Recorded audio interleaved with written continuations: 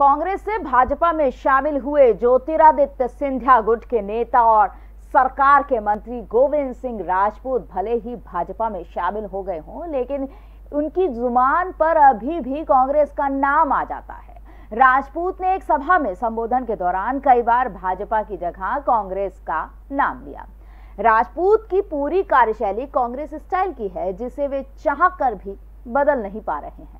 भाजपा में शामिल हुए मंत्री गोविंद सिंह राजपूत कहने को तो भाजपा ही हो गए हैं, लेकिन उनकी ज़ुबान अभी भी कांग्रेस का ही गुणगान करती रहती है।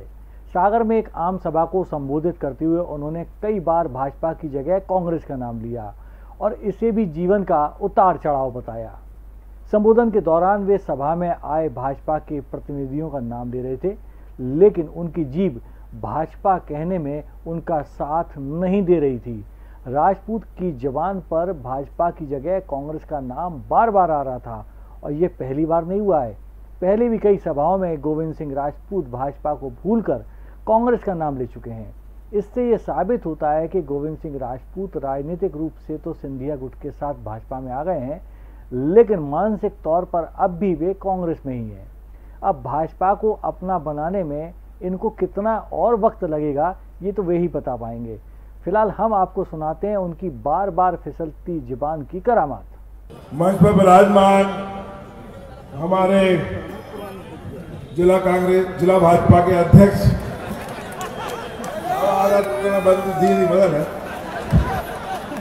आदरणीय हमारे छोटे भाई गौरव सिरोडिया जी।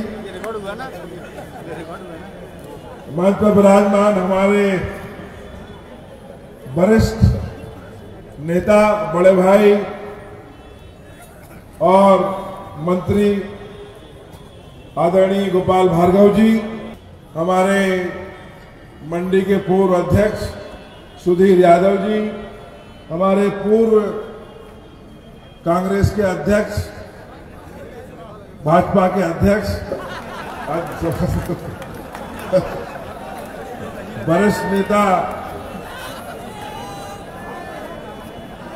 प्रभु, पटेल जी, जहार सिंह जी पूर्व अध्यक्ष, लता बानखेड़े जी हमारे पूर्व आयोग के अध्यक्ष, जीवन में बहुत से उतार चढ़ाव आते हैं। अभी जो दो बार जवान घुसरी में उतार चढ़ाव का नतीजा थी। लेकिन ईश्वर को जो मंजूर होता है कहते हैं वही होता है जो मंजूर खुदा होता है.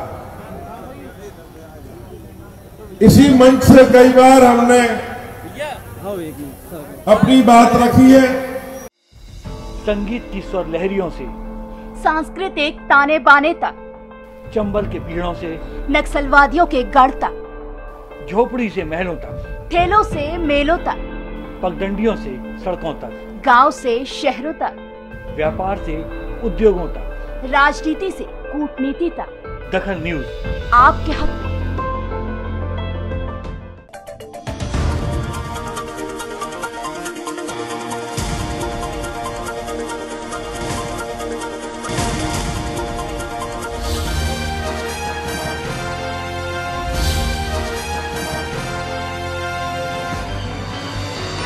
आप देख रहे हैं दखल न्यूज़।